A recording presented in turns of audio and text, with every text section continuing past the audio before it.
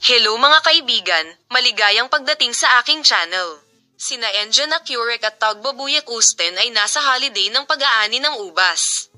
Mga espesyal na post mula kay Tuba Buyek Usten sa karawan ni Engine Accurek at Tuba Buyek Usten noong 2016. Sa masayang kasal ni na Engine Accurek at Tagbabuyek Usten, ipinanganak ang kanilang mga anak.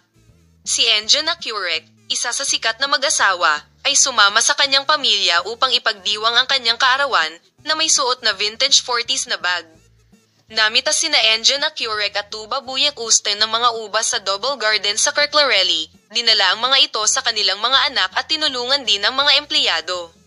Narito ang masayang bahagi ni na Engine Accurek at Tugba Buyek Usten. Ang sikat na mag-asawang Engine Accurek at Tugba Buyek Usten ay nakakaakit ng pansin sa kanilang mga post sa social media.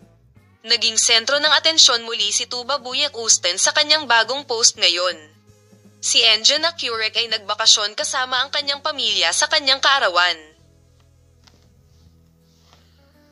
Si Engine Accurek, isa sa sikat na mag-asawa, ay pumunta sa pag-aani ng baging kasama ang kanyang pamilya upang ipagdiwang ang kanyang kaarawan. Dinala ni na Engine Accurek at Tagbabuyek Usten ang kanilang mga anak sa Double Vineyard kung saan sila namimitas ng ubas sa Kirklarelli at tinulungan ang mga empleyado.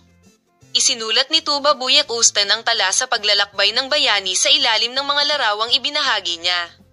Ang larawang ito ng mga matagumpay na aktor ay nakakuha ng malaking atensyon sa social media.